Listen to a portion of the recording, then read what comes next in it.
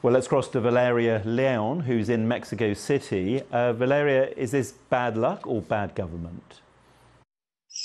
Well, Mexico's president Andres Manuel Lopez Obrador has blamed actually news organizations for reporting on Mexico's rise up the ranks of the global death tally. Uh, Mexicans in poor communities are disproportionately dying of COVID 19, and many of these patients are concentrated in working class neighborhoods. But Mexico's president, Lopez Obrador, has blamed Mexicans' poor health as, well, for an excuse for why the virus has hit the country so hard.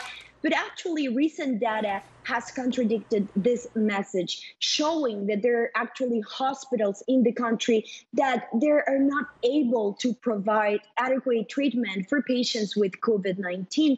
And Mexico, as we know, has one of the highest death uh, rates but also the country has one of the lowest testing rates. The Mexico has performed just three tests per 100,000 people on a daily basis since the pandemic started, and 67% of this resulted positive. With such a high positivity rate, this means that the Mexican government is testing the sickest patients and not casting a wide enough net. But despite this situation, well, and after a short non obligatory quarantine, Mexico has started to reopen its economy.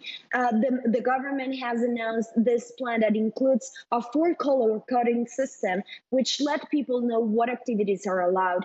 Just this morning, Mexico City Mayor Claudia Sheinbaum announced that the capital Mexico City will remain in uh, at orange, which is the second highest alert phase, even though there is a warning of a surge in cases. And, and what's the situation looking like in Latin America as a whole? Well, Mexico leads in lethality in Latin America, a region that's already considered the epicenter of this pandemic because of the rapid expansion of the cases. Mexico reports the highest proportion, even higher than Brazil, which has the second highest number of confirmed cases in the world. This is according to the Johns Hopkins University.